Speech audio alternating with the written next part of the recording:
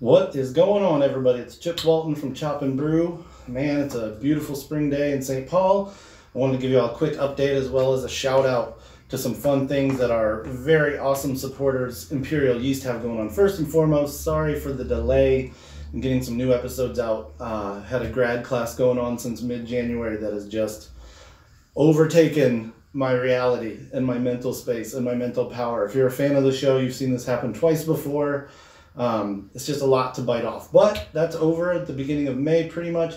And we've got episodes from Portland coming up. We've got episodes from Arizona coming up. We're brewing in the Badass Brewery. We're, we're brewing in my house. We're brewing all over the place. So we've been filling the gap with some of these tasting notes videos. I hope you get educated and entertained by those. But we are about to get a little more back into the brew kettle.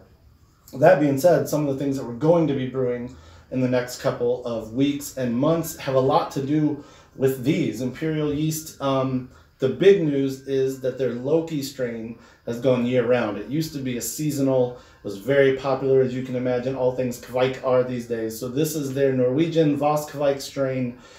Can ferment from 60 to 100. Uh, you know, the wide range of things that Kveik can do. Um, I'm interested in obviously beer, but between this one and this one, we'll talk about in a minute. I'm also, I think we're going to try some meads, maybe even some ciders. So Loki year round, find it. Um, Voyager, this is their spring seasonal, April through May. It's an English ale strain.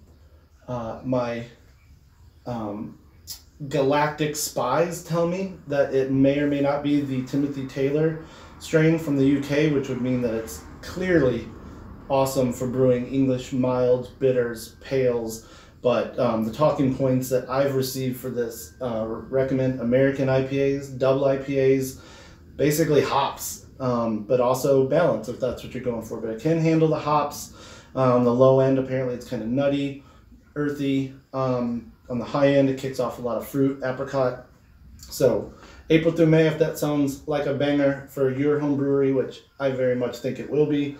And then this guy, they sent us with the handwritten label, which means it's kind of on the low low at the moment. This is going to be their summer seasonal. It is a three Kveik blend.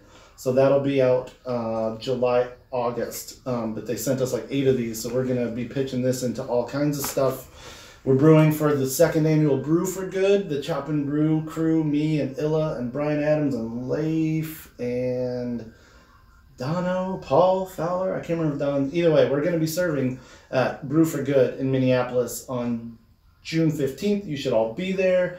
It's an awesome homebrew pouring event that raises money for Think Small, a local um, nonprofit in the Twin Cities. But we're going to be putting a lot of these to work for that. And then for Brian's Pig Out in August, you know, that thing's got to have like eight or 10 beers on tap. So we're going to be getting busy with these Imperial yeasts. We're going to be doing a bunch of Kveik with uh, the actual Kveik that Ivar sent us. Uh, we got a lot coming up. So thanks for your patience. Thanks for your support.